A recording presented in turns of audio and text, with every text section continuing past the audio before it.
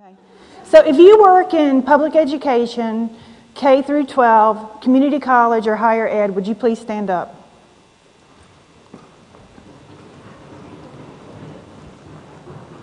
Awesome. Thank you. If you work for a faith based or nonprofit organization, would you please stand up? Great. Awesome. If you're a student, would you please stand up?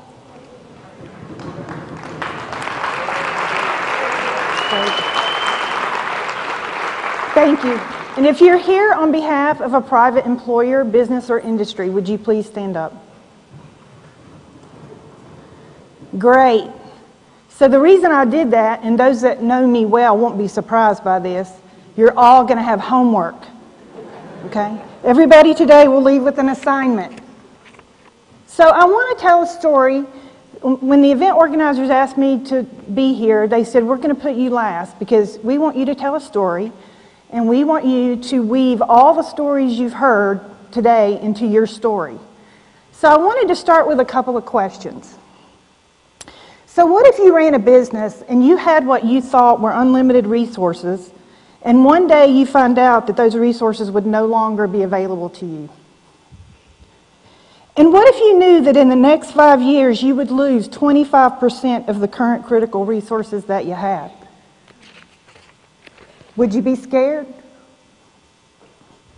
So, I want to show you our most critical resources at Siemens in Charlotte.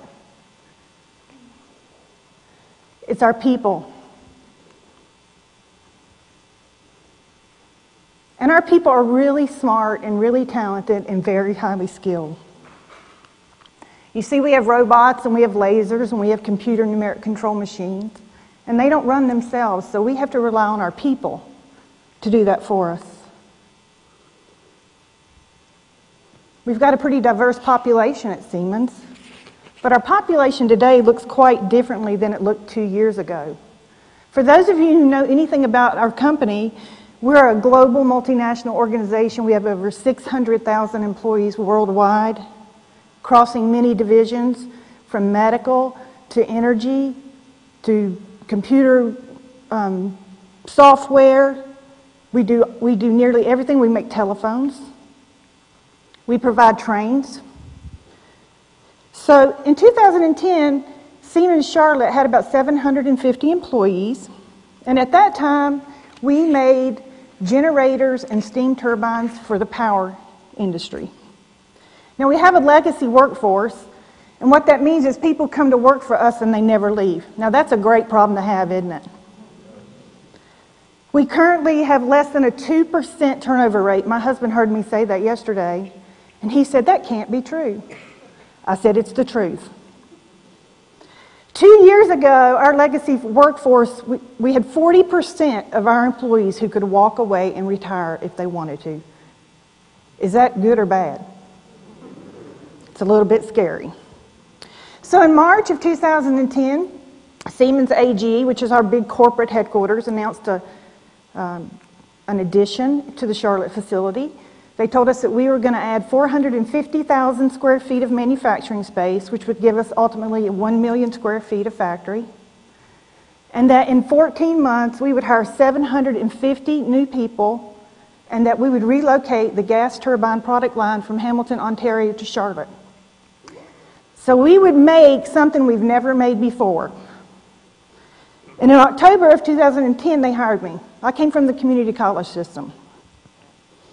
And I was tasked with being um, the architect of the campus training program. They had not had a training manager for about seven years at that time. And so I had a lot of work that I had to do. And one of the things they tasked me with was to build an apprenticeship training program. Well, I was in love with that idea because one of the things you don't know about me is I'm also a full time student at NC State. And I'm in the third year of my doctorate. And my area of research interest is career technical education and apprenticeship training. That's what I'm writing my dissertation on. And so I got to very quickly travel to Berlin, Germany, and to Mulheim, where we have over 1,400 people in an apprenticeship training program. They're in apprenticeship training programs from everything from welding to computer IT. So in the last 16 months, we've hired 752 people. It's taken our campus to a size of 1,500. The good thing about that is now our retirement eligibility rate has dropped to 25%. That's a good problem to have. And so in April of last year, we joined Apprenticeship 2000. How many of you have heard of it? It's a regional area partnership. If you'll notice, mostly European country, companies, okay, a few American companies up there. So we joined Apprenticeship 2000 last year because they had a very well established program through Central Piedmont Community College in the mechatronics engineering uh, technologies degree, and we knew that we could get up and running pretty quickly. So, my friend Bill Dillon, who's out there somewhere, he works for Central Piedmont Community College. He invited me to a luncheon at the Arrowood Business Association meeting. He said, I got a guy you have to meet. So we went and we had lunch, and I ended up sitting right beside Mike Raylon, my partner in crime. Because Bill knew that Mike had the resources I needed, and that was access to good kids. So Mike and I very quickly established a relationship and we got really excited about creating an apprenticeship training program. I want to remind you that Olympic is a community of schools. It's not a magnet school. So some of the things that they're doing at Olympic are pretty darn remarkable. So we started a screening process, Mike and I. I went out to Olympic, I talked to the kids, Mike talked to the kids. We started uh, getting their high school transcripts. I was flying back to Germany in May. I was on the airplane with a stack of high school transcripts. And I started screening them, and I started looking for high math scores, good overall grade point average. Something that's really important to us at Siemens is attendance. So if I saw that a kid had bad attendance in high school, they went into the no pile. So we very quickly screened that group of kids down, and then we invited the ones who were in the yes and the maybe pile in, and we made them bring their parents. And while they were there, we took them out into the factory because I have to tell you, a million square feet of manufacturing space and overhead cranes that lift 800 tons are pretty formidable. So we made, we made the, the parents come, we took the kids out in the factory, and they couldn't believe what they saw. They couldn't believe that every piece of machinery that we have is run by a computer. They couldn't believe that we had robots, we had laser cutters, we had laser welders. They were so impressed. And so last summer, we invited these kids to a summer internship for six weeks in the factory, really just to see if they liked us and if we liked them. Because honestly, it's not for everybody, and we knew that. So, in August of last year, we added six apprentices. Now, i i just want to talk about these kids for a minute. You'll notice that they're a pretty diverse group four males, two females, five speak English as a second language. We didn't do that on purpose, it just happened that way. I brought with me today the Pathways to Prosperity report, and this is a, an article that was written by the Harvard Graduate School of Education in February of 2011. And you know what they call these kids in that report? The forgotten half. Because half of our high school students will graduate, they will have no job skill, and they will not have the means to go to college. The forgotten half. So we made a business decision that we were going to spend $170,000 per student over a three and a half period of time. That's, that's a pretty big deal, isn't it?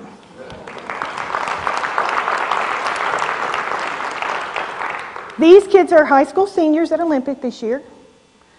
They go to high school in the morning, and at 11 o'clock they leave. And they either come to Central Piedmont Community College two days a week, or they come to Siemens. And at Siemens, we've assigned them a machining mentor.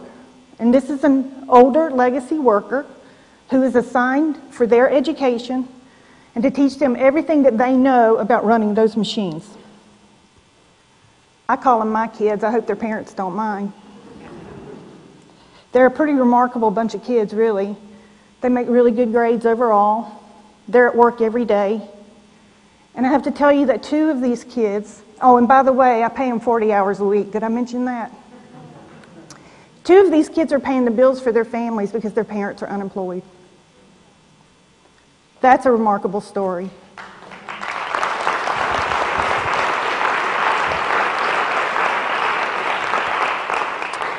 So this year, we've taken about 68 kids through the Apprenticeship 2000 screening process, the whole partnership. And actually, today, I couldn't be at the, the choosing ceremony, so I sent someone in my place to pick the kids that I had my eye on. I want to say Central Piedmont Community College has been an awesome partner for us. They actually develop classes just for my kids. So if I want a special class for them, they never tell me no. We added a second shift in February, and guess what? We have a shortage of qualified machinists. We can't find them. I was in Clemson three weeks ago and I picked up the Greenville News on Sunday. And in the paper, I saw not only is it a Charlotte area shortage, there's a regional shortage. There were six ads in the Greenville News for computer, computer numeric control machinists. Companies like GE, Rexroth Bosch, ZF Lemförder, Baldor Electric, all looking for qualified skilled machinists. BMW just announced an expansion in the Greenville area of 700 skilled workers. So we've made another business decision this year. We're going to add 10 more, 10 more apprentices, six as machinists, and four in our maintenance integrated systems technology degree at Central Piedmont Community College. The total investment overall for these young people will be $2.7 million. Can you repeat after me? $2.7 million?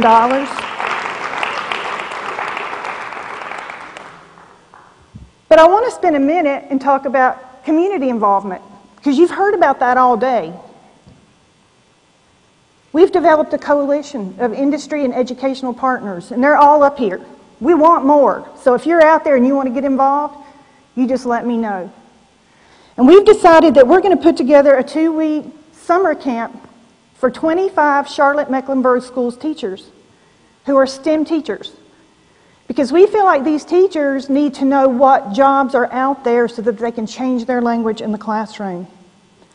We're going to spend um, a lot of time teaching them about different kinds of energy. An additional thing that we're doing with Olympic is we've created an energy academy.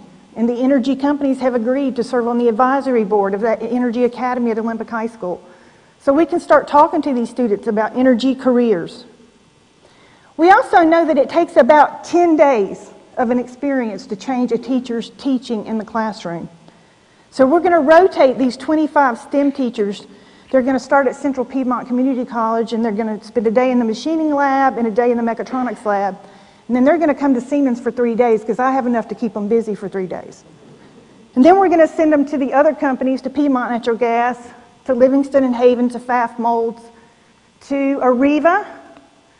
And they are actually going to spend some time at Discovery Place and Coca Cola.